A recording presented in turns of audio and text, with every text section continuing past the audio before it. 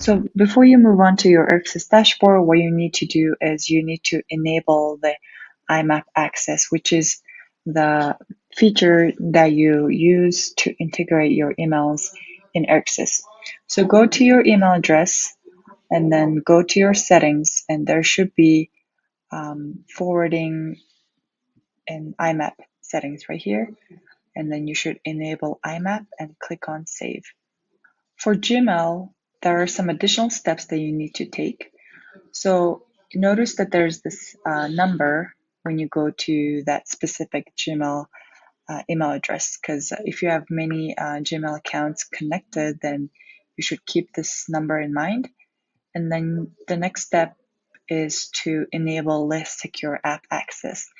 So as you can see, just make sure that it's the email address that you want to enable this access or you can just do that by clicking here or checking if the, the number is still the same as uh, the previous uh, page that I showed you and enable this.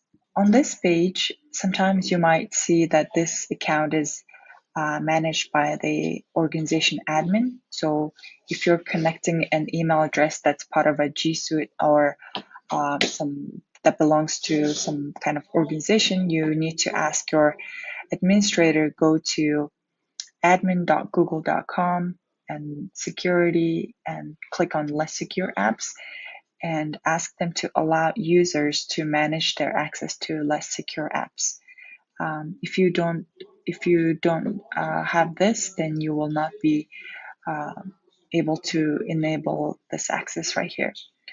So that's the second step. And the third step is uh, go to this link and then also again make sure that the number is still the same and click on continue and enable access to your Gmail address.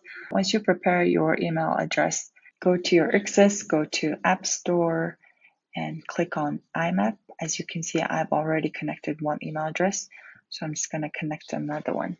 So on this page, depending on your email client, you might have to input some different um, values here. So here I've um, selected, written the name. Uh, this can be just uh, whatever text they want to input and then select the brand, select the channel and type in your full email address and type in your email password.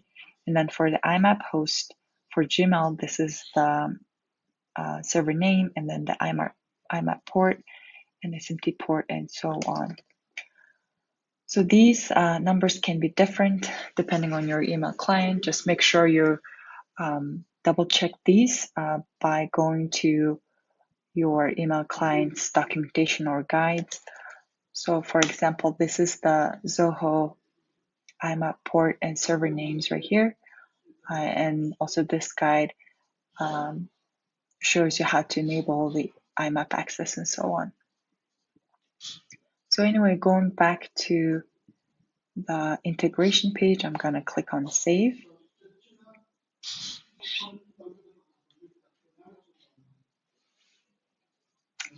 And now I have successfully added the email address. So last but not least, the next step uh, that you need to do is go to system configuration and click on engage configuration Engage is the feature that is used to send bulk emails. So you need to verify this, uh, the same email address right here.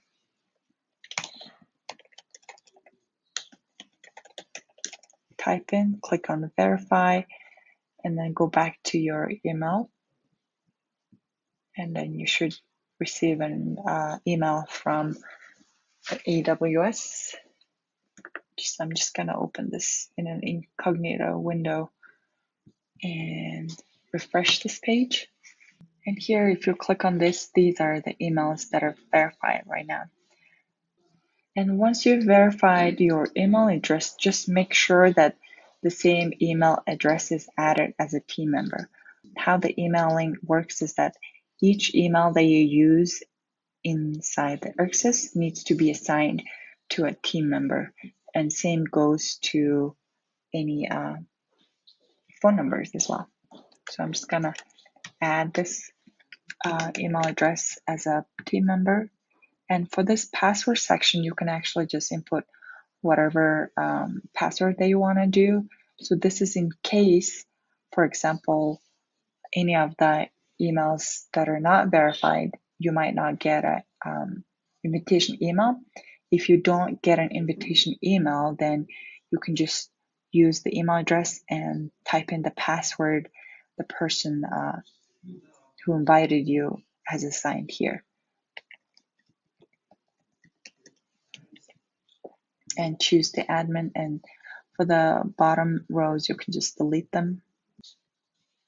All right, and I'll go back to my uh, email address and verify and accept the invitation over here. All right, uh, I went ahead and accepted the invitation and set up my uh, new passwords and, uh, and all. So, so I have these two emails added as the team member. And then now the last part is to test it out and go to engage.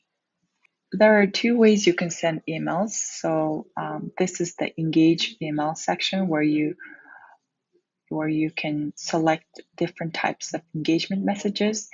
So the first one is auto message. This one um, is used with the segments feature where you can create email sequencing or any types of automated emails and or messages. So the manual message is just a one-off uh, engagement message and the visitor auto message is any messages that you want to send through your erxes uh, messenger widget. So I'm just going to go to auto message and if you click on the auto message, it'll again give you three options. One is through an email or the messenger or the SMS. So for the email, since we connected the integrated the email, I'm just going to choose this one, click on next, choose the user. So now you can see that both the email addresses that are added uh, are available to choose from. And for the schedule, it depends on how you chose your segment. Um, so here we have the option to send every minute, every hour, every month. And then if you choose every month, it gives you on which specific day you want to send this email. And if you choose every year, um, choose the month of the year and so on. And then you will click on next and then uh, you click on either save in draft or send in live. So the engagement messages have two different uh, statuses. One is sent, meaning that this was uh, one-off email, one-off SMS, um, or any other types of engagement message. And if it's an auto message, then the status is sending, meaning that it's live and it's checking the system uh, and then sending the emails to appropriate segments or users. So that's one way to send an email, or um, you can send emails from your contact section. So you can click on any contact and go to their profile. And you can just click on email here, click on this button, and then just make sure that you're sending from the appropriate brand or email address and you can type in and click on the send. Also, another option is just to send an email straight from the team inbox. Here, since you are starting to receive every emails in your team inbox, you can just click on this one and it's the same as the previous contact profile view as well. So that's how you send an email and um, just make sure that, you have enabled your IMAP uh, and you have successfully integrated your email address. And when you're trying to integrate an email, if it's saying error connecting to the server, that means maybe you have um, typed in the wrong password, or maybe you have not enabled the previous steps, uh, the IMAP, or you have typed in the wrong IMAP host name or port name. And once you do that, the again the last two steps are make sure that you have verified these emails in the engage configuration and then you also added these emails as a team member.